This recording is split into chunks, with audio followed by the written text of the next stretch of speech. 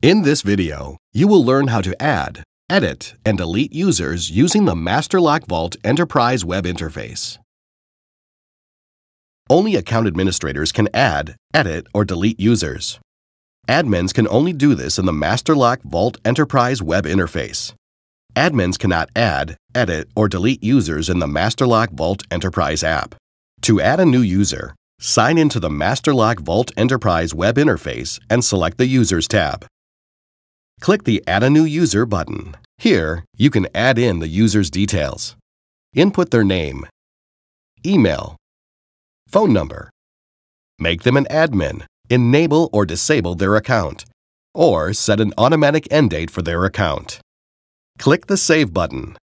Note, only the email is required to create a user. The user will receive an email with a link to MasterLock Vault Enterprise and a temporary password to sign in. Note, this link expires after a week. To edit a user, click on the Users tab. Choose the user to edit by clicking on the corresponding small box in the first column on the left. Select the Edit button. When the user's contact information is in edit mode, you can change their name, email address, phone number, access level, active status, and end date. You may change one, some, or all settings on the Details subtab. Click the Save button.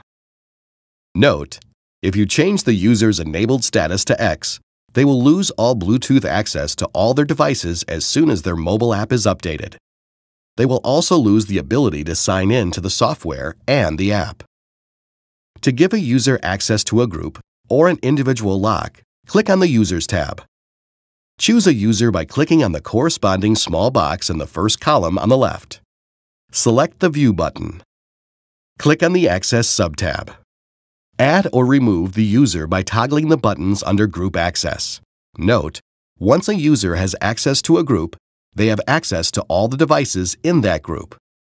To add the user to a single lock, select the Add Individual Access button. Select the lock from the list and click the Next button. Choose Unlimited Access or Within Specific Time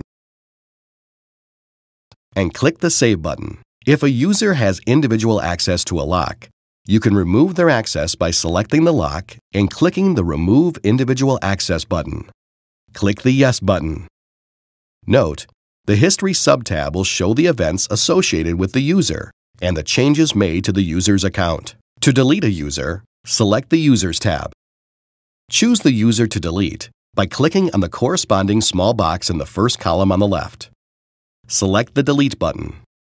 Confirm by clicking Delete. Note, the buttons on the right can also be used to make changes to a user's profile. For more support information, visit the MasterLock Vault support section on masterlock.com.